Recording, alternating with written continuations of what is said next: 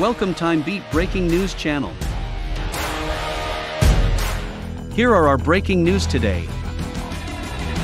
1. Asian-owned store trashed by man with metal pole. 2. Trump wishes happy Easter to radical left crazies who want to destroy our country. Charlotte, North Carolina. An Asian-owned convenience store in Charlotte, North Carolina, was trashed by a man who wielded a metal post and yelled racial slurs, according to police and a son of the store's owners. The incident occurred on Tuesday near the Charlotte Transit Center.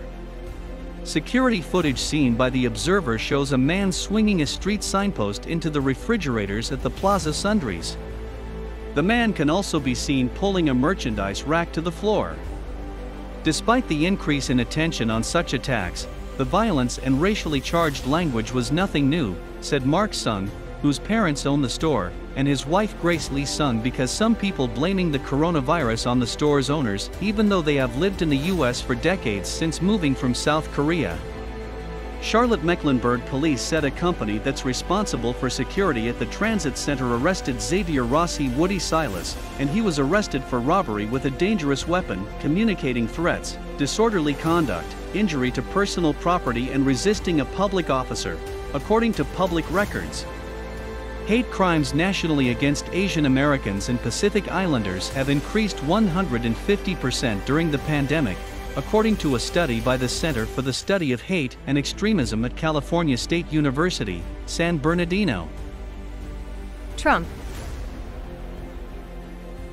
Trump wishes happy Easter to radical left crazies who want to destroy our country. To celebrate the resurrection of Jesus Christ, former President Donald Trump put aside his resentment towards his political opponents by sending out a heartwarming Easter message to all.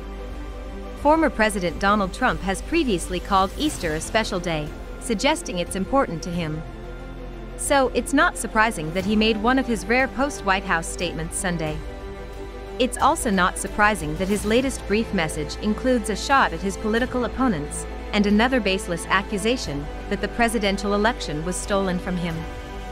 Happy Easter to all, including the radical left crazies who rigged our presidential election and want to destroy our country. The tone of the message is a fairly classic Trump maneuver. He's previously wished a happy new year to my many enemies, and those who have fought me and lost so badly they just don't know what to do, and, perhaps most infamously, he once tweeted his best wishes to all, even the haters and losers on the 2013 anniversary of the September 11th attacks.